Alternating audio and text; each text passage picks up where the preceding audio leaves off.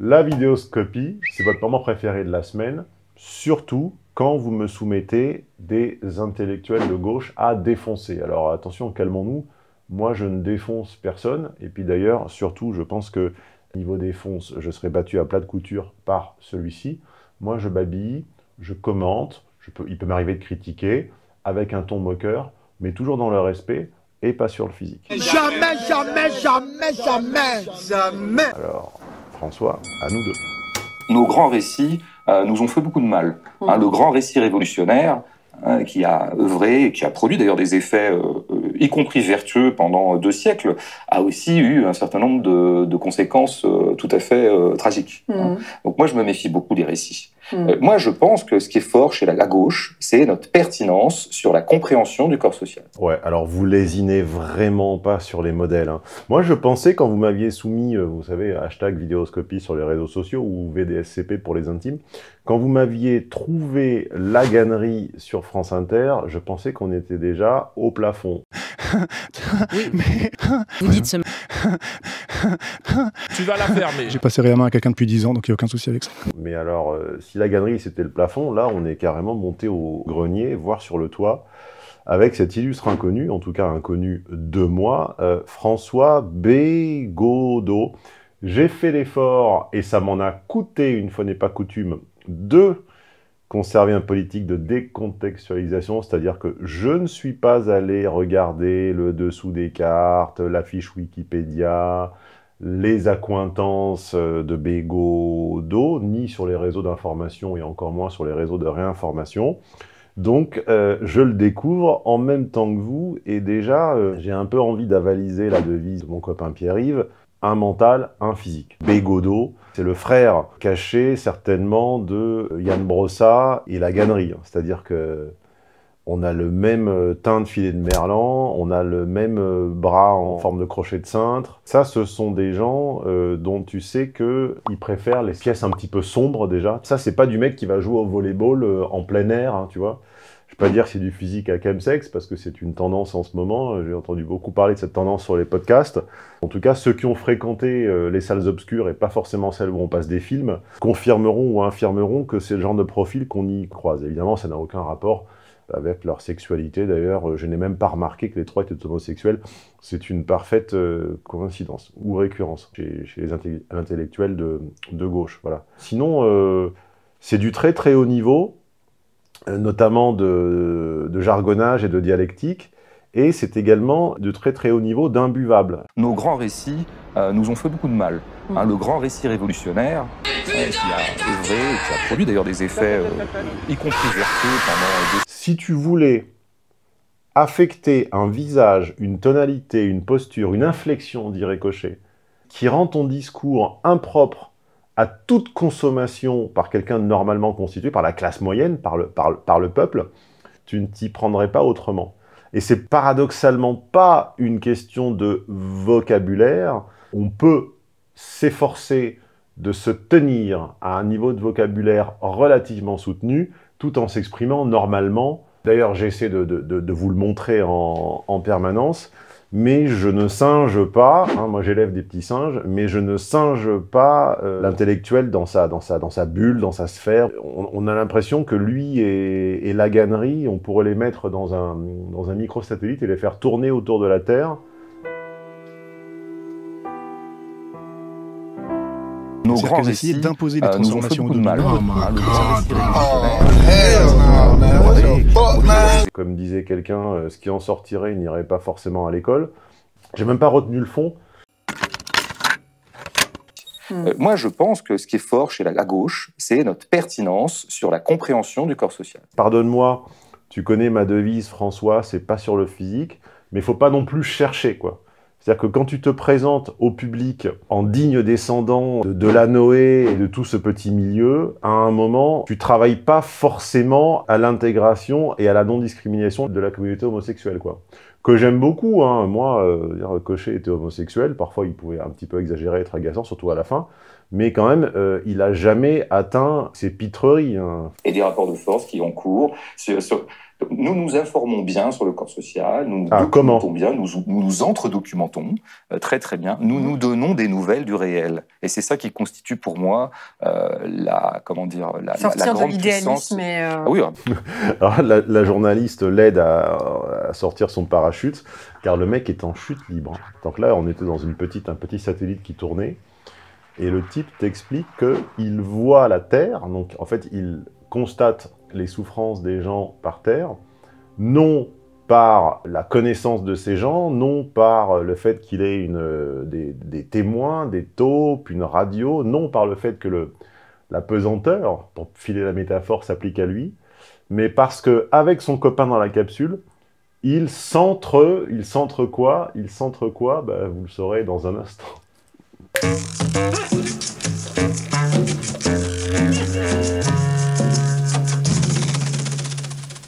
Ah, la migration. Il y a trois catégories de Français qui ont ce mot à la bouche. Euh, la première, euh, ce sont les chantres du ministère de la euh, fameuse remigration euh, qui, selon moi, n'arrivera jamais. Les seconds, c'est les éternels mécontents, hein, comme disait La Fontaine. Volontiers l'on fait cas d'une terre étrangère. Volontiers, gens boiteux haïssent le logis.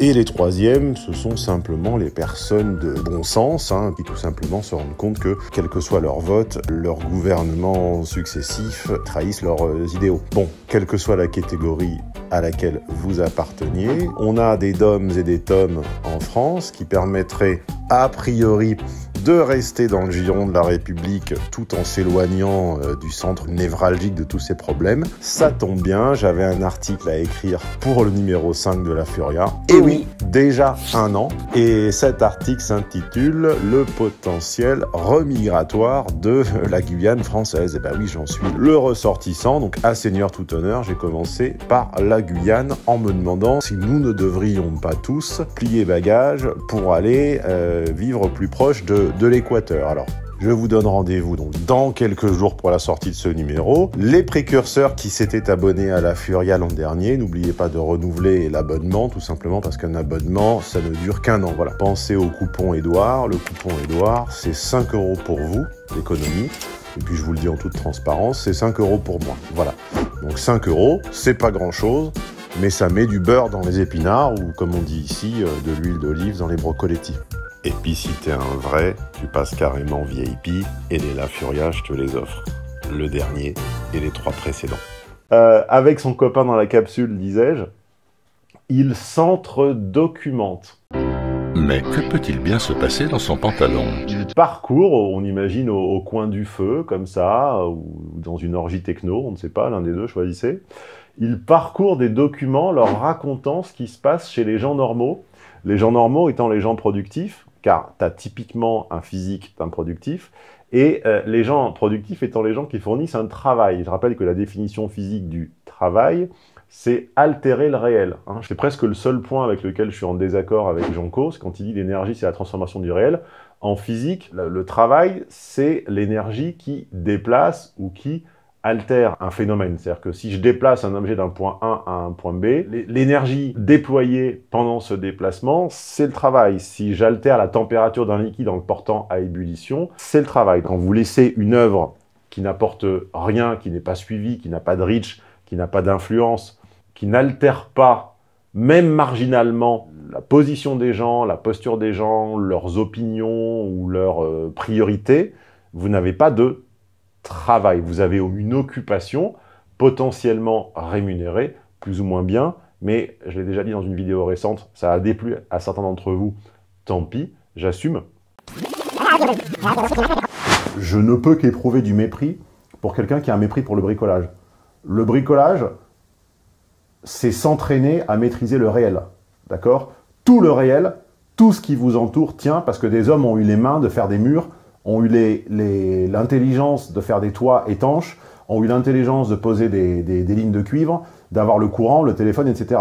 Qu'on ne méprise jamais, jamais, jamais l'intelligence manuelle, parce que sans intelligence manuelle, il n'y a pas de directeur de création, de directeur artistique, de trucs d'agence de pub et de métier avec surreprésentation gay. Donc là, on a quelqu'un de fondamentalement improductif qui nous explique que le socle sur lequel est ancrée sa machine à penser, ça n'est pas le peuple, ça n'est pas les souffrances exprimées à longueur d'entretiens quali et quanti, de sondages, d'interviews de, rue ou même de discussions de café par les gens, hein, c'est-à-dire euh, la redistribution qui est injuste. On redistribue en, acquis sociaux et en protection mal partagée deux tiers de la richesse qu'on génère. Les gens en ont marre.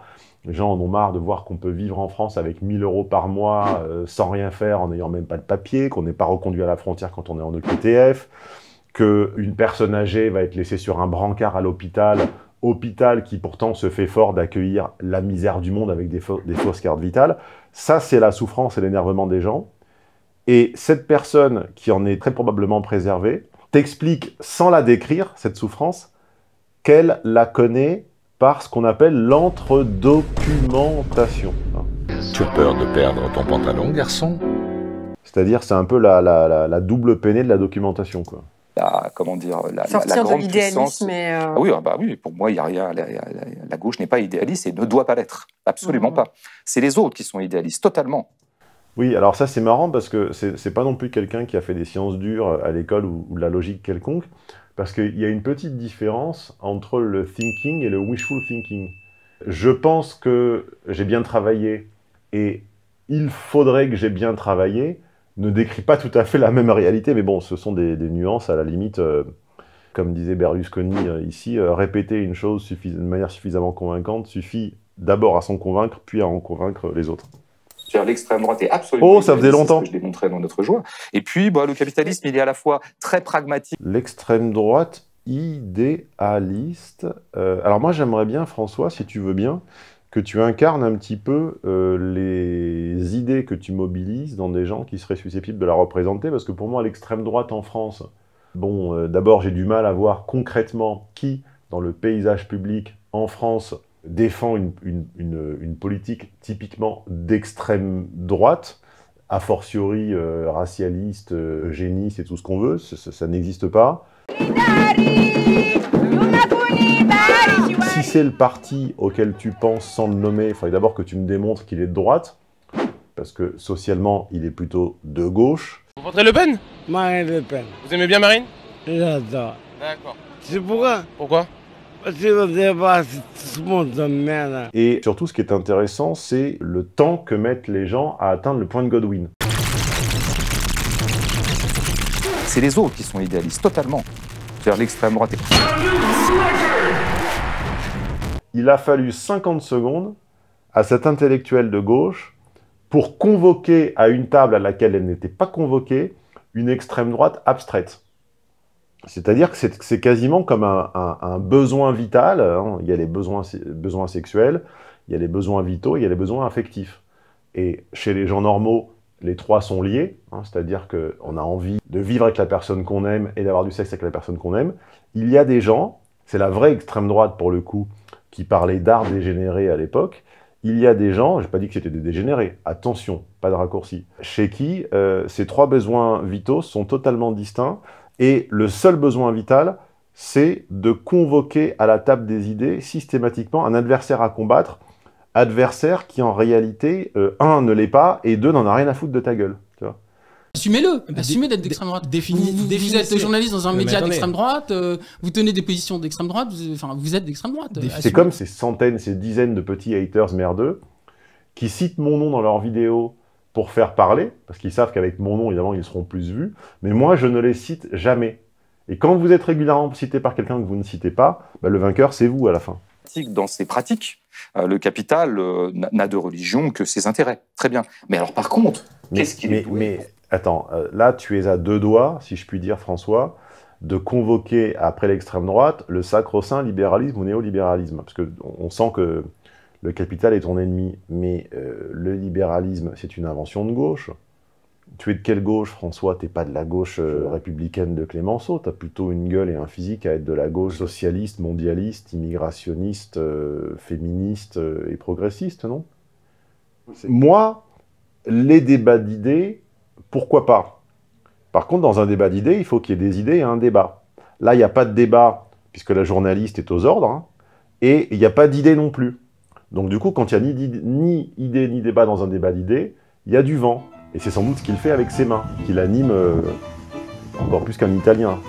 Oui, pour produire du narratif, dirait-il maintenant. hein. Hmm. Il n'y a pas un séminaire de management où on ne vous parle pas de narratif. Mhm. Il faut produire du narratif. Alors je pense Oui, alors c'est drôle de se moquer de la novlangue quand on est le chantre d'une novlangue soi-même. C'est-à-dire que je veux bien que la langue de management à l'anglo-saxonne soit caricaturale, mais euh, la caricature qui se fout de la caricature, c'est le camembert qui dit au Roquefort « tu pues, euh, François ». pense que nous, gens de gauche, euh, devrions beaucoup nous méfier du récit, du narratif, de la fable. Et revenir à du concret. Nous, gens de gauche, devrions nous méfier du narratif. Mais tout penseur doit veiller à conserver un- une forme d'incrédulité, diraient les sceptiques. Tu ne peux pas produire des idées en étant crédule.